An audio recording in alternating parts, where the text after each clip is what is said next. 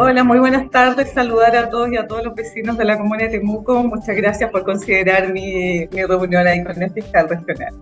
Bueno, se produjo la reunión con el fiscal efectivamente entonces, ¿no? Así es, solicitamos nosotros una audiencia, eh, dijo eh, nosotros, digo cuando digo nosotros, es una organizaciones como la organización ECOGUR, la organización ETOS, la Fundación CARUN y alumnas de la Universidad de Derecho de la Católica, de la Universidad Católica, ¿ya? Entonces solicitamos acá una audiencia con el fiscal regional para eh, solicitarle un fiscal con dedicación exclusiva en temas de justamente de medio ambiente debido a que se han salido adelante muchas leyes con respecto a este tema, como por ejemplo la ley de humedales, ley Cholito y otras que han salido últimamente. Y, consideramos que muchas veces estas denuncias, no consideramos, sino que las agrupaciones y las personas en general comentan que muchas veces estas denuncias que se realizan eh, no tienen buen término, no llegan a nada. Se tiene la sensación la ciudadanía de que estas leyes no se están cumpliendo.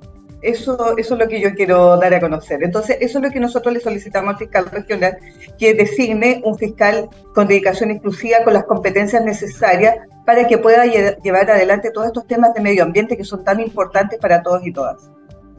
Ahora, eh, cuando, cuando uno cuando, cuando, se interviene en la justicia a través de la fiscalía, es porque existe de alguna manera la comisión de delito o hay algunas denuncias en este sentido. ¿Esto se ha dado en Temuco que efectivamente se cometan delitos, se, se infrinja la ley eh, medioambiental o, o, de tenencia responsable para solicitar efectivamente la presencia de un fiscal de dedicación exclusiva, concejala?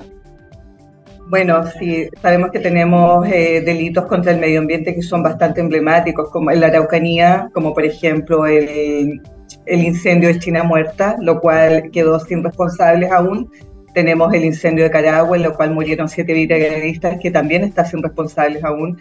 Eh, en Temuco igual se han llevado a, eh, conocer algunas denuncias, como ejemplo maltrato animal eh, en algunas ocasiones, lo cual igual muchas veces puede generar que, generar que queda como en la nada misma, que no tenemos responsables o que no tenemos una, una condena que sea significativa y que sea ejemplificadora muchas veces para que se dejen de cometer este tipo de delitos contra el medio ambiente, lo que yo le comentaba al fiscal principalmente. ¿Y cuál fue la respuesta que tuvieron del, eh, del fiscal regional? Bueno, el fiscal regional me dice que él tiene eh, dos fiscales que se dedican, eh, no de manera exclusiva, pero que sí cuando llegan denuncias de este tipo, eh, trabajan estos temas eh, pero que no tienen dedicación exclusiva. ¿ya? Eh, yo considero que deberíamos tener un, fiscal con dedicación exclusiva, con las competencias y con los conocimientos necesarios para que estas, denuncias puedan llegar a buen puerto. Eh, él comentó, también me comenta, quedó, él, él estuvo muy, muy, muy buena voluntad en caso de recibirnos y en caso también de decirnos, por ejemplo, que, que, queda abierta la posibilidad de una mesa de trabajo con organizaciones, con agrupaciones, con fundaciones y con vecinos y vecinas que quieran participar de esta mesa para poder llevar a cabo y dar a conocer todo lo que son los protocolos en cuanto a lo que tiene que ser las denuncias en, esto, en, este, en estas temáticas como de medio ambiente, porque muchas veces no se sabe o no se sabe cómo podemos llegar a, a buen puerto ante una denuncia tan grave como un incendio, por ejemplo, o como un maltrato animal, como un relleno de humedales, como extracción de árido de forma indiscriminada de los ríos, contaminación de aguas, de aire y de otros tipos de, delitos que se cometen contra el medio ambiente. Le comentábamos nosotros, las agrupaciones y yo principalmente al fiscal. Ahora, si vamos a la experiencia comparada, no sé si un tema que ustedes consideraron también a la hora de conversar con el fiscal, eh, ¿hay experiencia en otras regiones que pudiera aportar también de alguna manera a esta solicitud que ustedes desarrollaron? Es decir, ¿hay en otras regiones fiscales dedicados exclusivamente a la atención de, eh, vulneraciones eh, a la ley ambiental o, o de tenencia responsable, por ejemplo? Claro, tengo entendido que se han designado fiscales exclusivos en denuncias emblemáticas, como las tuvimos en algunas plantas que estaban contaminando mucho en el norte, eh, pero fueron eh, con denuncias puntuales, considero yo. O sea, acá no se ha tomado el peso necesario a todo lo que son estos delitos contra el medio ambiente, que considero yo, principalmente las agrupaciones también, que afectan a todos y a todas. Eh, no es tan solo un tema acá de, de, que voy a contaminar o que voy a hacer un delito contra el medio ambiente, se va a quedar impune. eh, considero que tenemos que tomarle el peso necesario a esto y, quizás tomar, como tú dices, eh, el ejemplo de otras comunas o de otras regiones donde se pueda eh, considerar esto más, más, con, más, con mayor seriedad. Eh, la naturaleza, la verdad es que está siendo fuertemente dañada en diferentes lugares de la comuna de Temuco, de la Araucanía, como contaminación de ríos, como yo te digo, contaminación de humedales, rellenos de, cosas, eh, incendios y otros temas que, son tan significativos, tan importantes. La otra vez tuvimos un tema tan emblemático como fue la contaminación del aire en la comuna, en la localidad de Labranza donde se habló que en alguna oportunidad llovía caca, claramente, que la gente estaba eh, respirando o, tenía un, ambiente muy contaminado eh, para vivir. Yo igual he, recibido muchas denuncias, los vecinos entonces me dicen, concejales, que muchas veces no sacamos nada con denunciar porque esto no queda en nada, y al final es perder nuestro tiempo. ¿ya? Entonces considero que, por ejemplo, tenemos la ley eh, 21.202, que son las leyes de Cholito, que salió la ley de humedales, como yo te digo, la ley de bosque. Hoy día justamente estuve en, el lanzamiento de la ley eh, de los biocombustibles, que también es una ley que viene a proteger también el medio ambiente porque se considera que hay que vender la leña seca. Entonces, una serie de otras leyes que, que, están saliendo y que no son consideradas y que muchas veces no tenemos ni siquiera la fiscalización necesaria para, para poder llevar a, cargo, a, buen puerto, como yo te digo, las denuncias y, en temas de medio ambiente. ¿Y a, qué atribuye usted, concejala, que se, produzca este, voy a decir, relajo eh, por parte de las autoridades en términos de aplicar efectivamente la ley y las sanciones que contempla la ley eh, cuando se producen vulneraciones a los a, estos elementos que forman parte de la naturaleza o, de la tenencia responsable? Bueno, principalmente porque creo yo que se produce esto que no le tomamos la seriedad que, se necesita a la, naturaleza y al medio ambiente. Eh, considero que mm, las personas, mientras no les afecte a ella directamente, eh, no, se no se les va a tomar el peso a todo lo que esto requiere. Estamos, pongan por ejemplo, eh, te comento, tenemos hace poco salimos de un tema de pandemia, estamos saliendo, todavía estamos en tema de pandemia. Justamente estas pandemias son zoonóticas, porque nosotros no hemos respetado los límites de la naturaleza.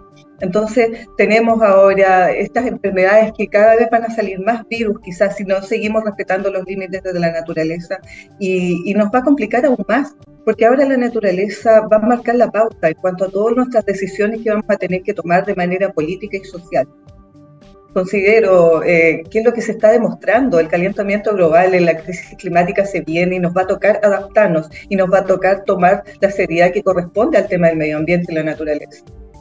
Y en este sentido, ¿cuál es la responsabilidad que desde el punto de vista legal le caben, por ejemplo, a los municipios para efectos de, de fiscalizar, también eventualmente eh, sancionar? Claro, el municipio de Temuco eh, ha tenido muy buena voluntad, por lo menos esta administración, de poder fiscalizar los temas de medio ambiente con respecto, por ejemplo, los humedales. Pero muchas veces estas denuncias, ejemplo, se van a la superintendencia y luego llegan eh, respuestas que no son satisfactorias. O sea, si estamos viendo que están rellenando el humedal, si estamos viendo que están rellenando una quebrada, por ejemplo, uno hace la denuncia y llega una denuncia, una respuesta que no es satisfactoria, uno dice, bueno, entonces a dónde tengo que ir, cuáles son las instancias donde tengo que llegar. Entonces, por eso el fiscal está, tiene esta voluntad también de hacer llegar a, las organizaciones, a las agrupaciones, a las fundaciones, toda la información para que esto pueda llegar a buen puerto definitivamente. Eh, la municipalidad de Temuco, como le digo yo, tiene fiscalizadores con respecto a esto. Ellos tienen que tener a cargo el tema de los humedales, pero es una ley que no tiene recursos al final. Es una ley que se sustenta en la nada. ¿Quién la fiscaliza? ¿Quién la hace valer?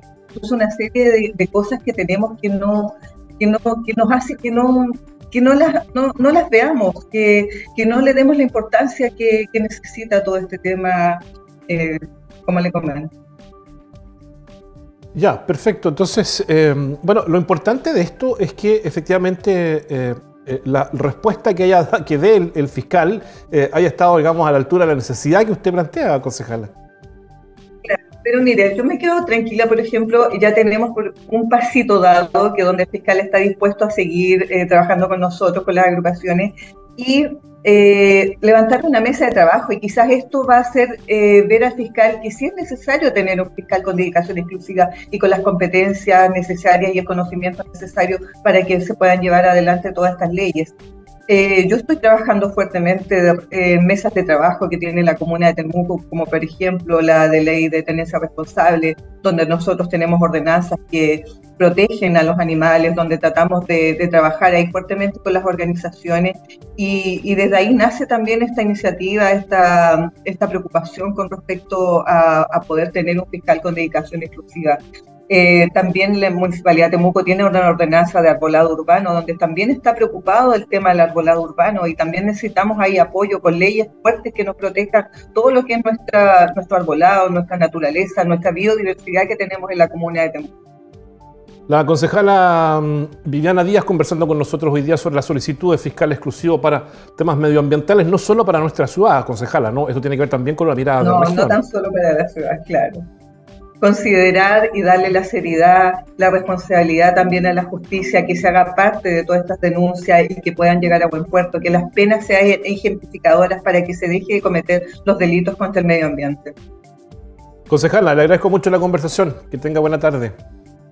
Muchas gracias por el espacio. Saludos a todos y a todas. Estamos en contacto. Muchas gracias.